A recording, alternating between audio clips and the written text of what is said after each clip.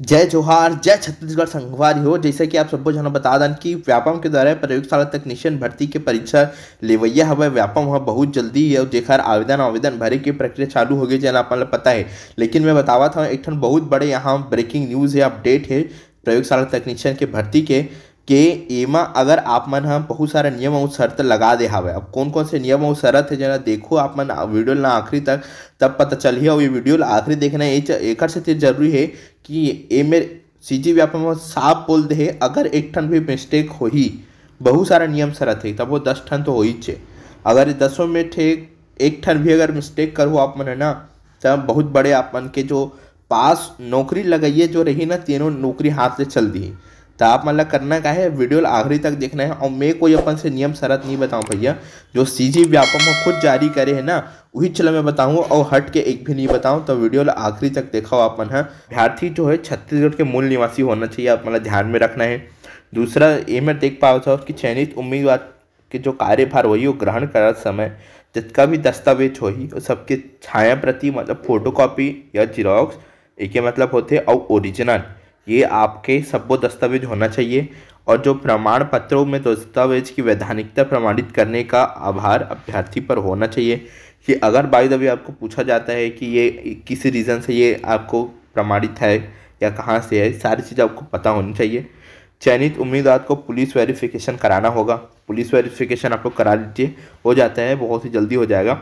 दूसरा, यहाँ पे तथा जिला चिकित्सालय के जो चिकित्सा बोर्ड से जो भी है, स्वास्थ्य फिटनेस प्रमाण पत्र प्रस्तुत करने के पश्चात ही सेवा में लिया जाएगा, ठीक है? अगर पास कर लेते हैं आप, तब की बात है। अगर एग्ज़ाम पास कर लेते हैं तो ये सब चीज़ आपको होगा, ठीक है? तो हो, होइए। और नियुक्ति आदेश संबंधित प्राधिकारी के द्वारा जारी किए गए जाएगा। यह नियुक्ति जो है, पूर्णतः अस्थायी नियुक्त है। है ना? ये अस्थायी रूप से होगा, अतएव नियुक्ति के शर्तों के अनुसार किसी भी समय संबंधित नियुक्ति अधिकारी द्वारा सेवा समाप्त की जा सकती है, ठीक है? मतलब आपसे जो हाई पोस्ट का जो बंदा होगा, जो भी प्राधिकारिक होगा, उसके तहत आपको कभी भी निरस्त किया जा सकता है सेवाओं से, समय अवधि के बाद। साथ ही साथ ये यहाँ पर आप मन देख पावत हो कि चयन एवं नियुक्ति के कार्यवाही। छत्तीसगढ़ शासन के उच्च शिक्षा विभाग के तृतीय एवं चतुर्थ श्रेणी भर्ती एवं पदोन्नत नियम उन्नीस के अधिनियम तथा संशोधित शासन के समय पर के आदेशों के अनुसार होगा और साथ साथ ही साथ में देख था अपन भूतपूर्व सैनिकों और दिव्यांगों को नियमानुसार आरक्षण प्रदान किए जाएँगे। महिलाओं एवं नियमानुसार हॉस्टिजेंटल आरक्षण दिया जाएगा। किसी भी कारणवश यदि किसी महिला के अभ्यर्थी का चयन न हो पाने पर यदि किसी रिक्त रह जाता है तो ऐसी अग्रणीयता नहीं की जाए, नहीं की जाएगी, वरन उसी प्रवर के जो पुरुष उम्मीदवार द्वारा भरे जाए, जा सकेंगे, जिस प्रवर के आरक्षित हैं। उपयुक्त पदों की चयन के समय यहाँ पर देख पा, देख पावा था अनुसूचित जाति, अनुसूचित S T S C O B C और जितने भी कैंडिडेट हैं, उनके सक्षम पदाधिकारी द्वारा जारी अस्थायी जाति पत्र और प्रस्तुत करना अनिवार्य होगा। मतलब अगर आपके पास अस्थायी है तो आप थोड़ा सा देखिए, अगर स्थायी हो जाता है, जल्दी से तब, ठीक है? साथ ही साथ आपका जाति प्रमाण पत्र, ठीक है? और चयन सूची में नियुक्ति जो है छत्तीसगढ़ लोक सेवा अधिनियम के अधीन राज्य सरकार द्वारा विहित किए जाएगा और यथास्थित जो उच्च शिक्षा संचालन द्वारा संबंधित जो रोस्टर के अनुसार ही किया जाएगा, ठीक है?